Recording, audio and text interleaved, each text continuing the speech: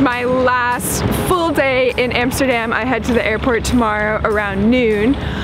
But it's a bit of a gloomy day today. Looks like it did rain a little bit last night because I thought maybe we weren't gonna get anything, but we did get a little bit of rain last night. Today I'm headed to the Moco Museum to see the Banksy exhibit because I didn't make it there yesterday. I got a little distracted shopping, you know, things happen. but anyways, so I'm heading to the Moco Museum and I'm heading to the National Gallery of Amsterdam, which I can't pronounce, but it starts with an R. And so I'll see you soon.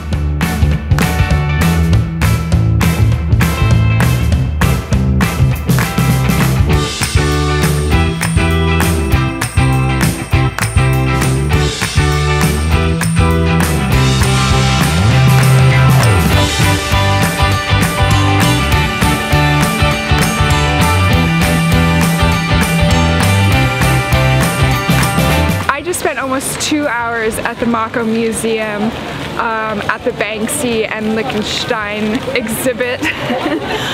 I found that super, super interesting. I have been a fan of Banksy. I really like the fact that he uses his art as almost a type of warfare on political affairs and other interesting things going on in society that are controversial. I also like to see Lichtenstein's work and how he was inspired by Picasso. That was really, really interesting.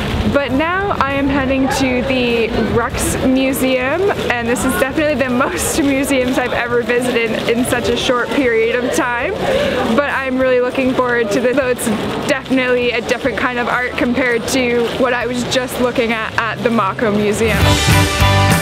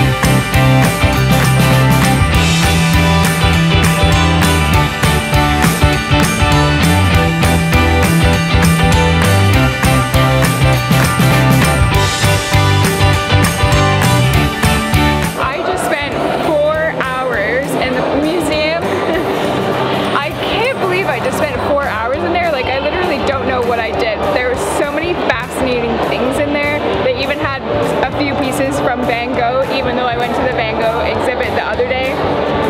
But the whole museum, like every area and every stage that you go in, it was so different and contrasting.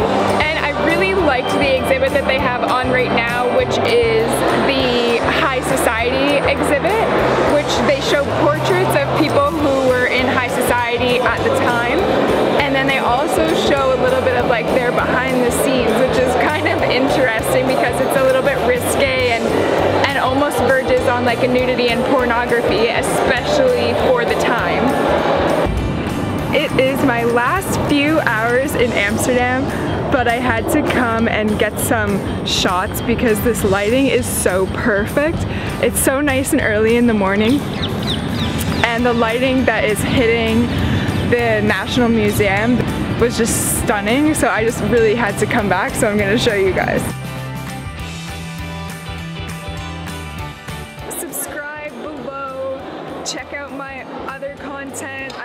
To post more for you guys so stay tuned. Bye for now.